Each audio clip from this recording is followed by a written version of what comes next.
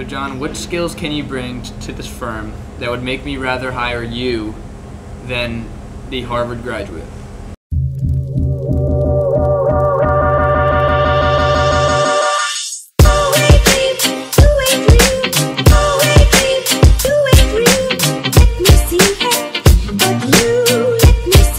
Hillary Clinton. I will be voting for Hillary Clinton. If you don't vote for Hillary Clinton, that means you're wrong. Interview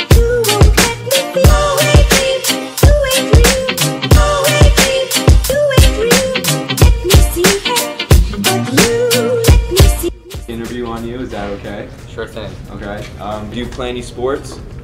Or watch any sports? Uh, yeah, I would say I like to watch baseball and football, but I run cross country for the school. Do you have a favorite sports teams? Yeah, I like the Cowboys and the Mets. Who's your favorite player on the Mets? Mm, I would say Jose Reyes. Why is Jose Reyes your favorite player? He was my favorite player when I was a kid. Are you happy that Jose Reyes is back with the Mets? Yeah, but I'm not proud of his past. Who's your favorite player on the Cowboys? Uh, yes, Tony Romo, Why is Tony Romo your favorite player? because he's an all-around good guy and a great quarterback who gets too much flack.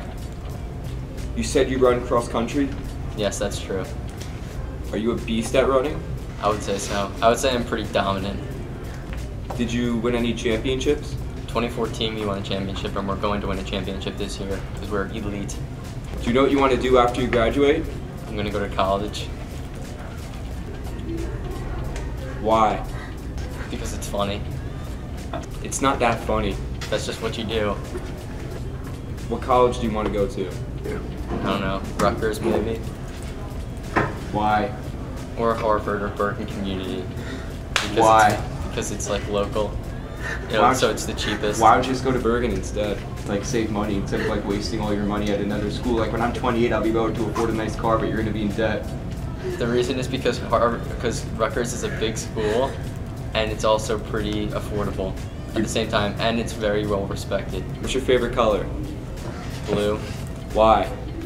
it's just a nice color. All right, it's been a pleasure doing this interview.